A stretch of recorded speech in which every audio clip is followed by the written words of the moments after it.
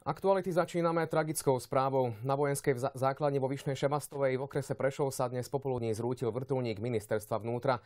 Na palube boli štyria ľudia, jeden zraneniam na mieste podľahol. Ďalšieho muža z posádky previezli do univerzitnej nemocnice Luja Pastéra v Košiciach. Ja už mám na telefónnej linke hovorkyňu Ivanu Stavškovú. Dobrý večer. Dobrý večer. E, môžete nám poskytnúť nejaké bližšie informácie o spomínanom pacientovi?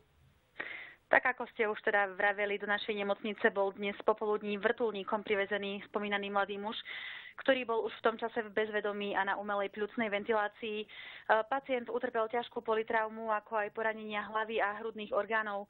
Aj keď ho naši e, lekári zhruba 50 minút oživovali zraneniam, ktoré boli nezlúčiteľné so životom, žiaľ napokon aj napriek tomuto podľahol. E, pani Stašková, viete nám povedať, čo s ostatnými dvomi členmi posádky? Žiaľ, túto informáciu nemám, keďže k nám bol privezený iba tento spomínaný mladý muž a ostatných tam privezení neboli. Ďakujem za rozhovor. Dovidenia. Obete spadnutého vrtulníka si dnes úctili aj radní v Prešove. Minútou ticha pozostalým vyjadrujú nad stratou blízkych úprimnú sústrasť. Vyjadriť kondolenciu, sústrasť či spolupatričnosť pozostalým a príbuzným zostulých môžu aj prešovčania v kondolečnej knihe, ktorá bude nasledujúce dni umiestnená v budove radnice.